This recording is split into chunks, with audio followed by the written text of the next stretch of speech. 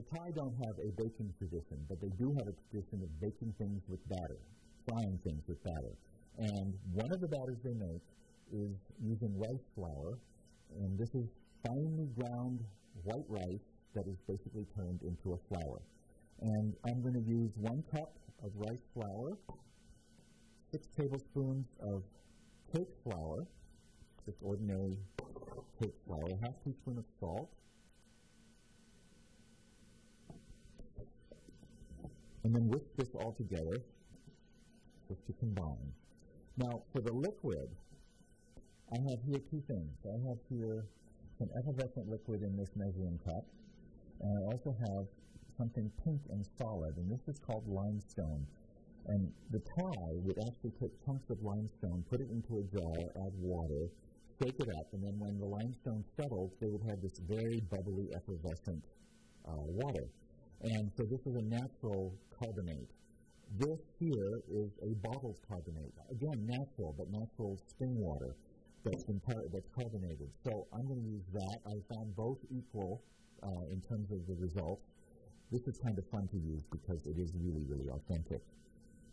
Pour in your liquid, and then just whisk it around. And theoretically, this liquid should sit, this batter should sit for about oh,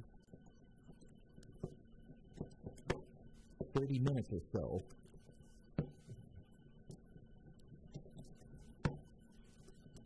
Because it gives a, a lighter texture to the batter.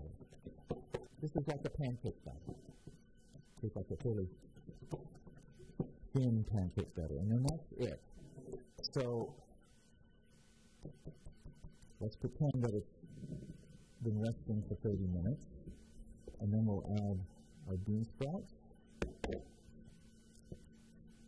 Use four ounces of fresh bean sprouts.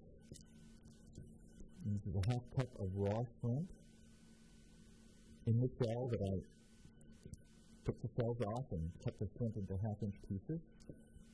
And here are three scallions and two garlic cloves. And you can also substitute garlic chives, about half a cup of garlic chives for the scallions if you have access to them. And then just stir this around until they're all, everything is all evenly coated with the batter. And then we're ready to cook. Okay, heat up about oh, a quarter to a half inch of oil in a large skillet. Make sure that the oil is very hot, so do this over medium-high heat. And then take large spoonfuls of your batter and then just drop them in the oil. And this recipe should make about 12 of these uh, Thai bean sprout and shrimp fritters. And get some of it in and then add a little bit more to it, like that. And then what you're going to want to do, you'll probably have to cook them in a couple of different batches, but cook them for about one to two minutes per side until they're very nice and brown and crisp and then we'll flip them over and then cook them for another couple of minutes. So we'll get we'll give these fritters just a little bit more time before we flip them over. Okay, let's see how these guys are doing and going to flip them over. Yes, perfect. Uh, lovely golden brown. Flip them over and let them cook for for another couple of minutes.